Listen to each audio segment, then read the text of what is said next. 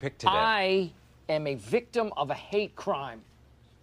That's not what a hate crime is. Well, I hated it a lot. Oh,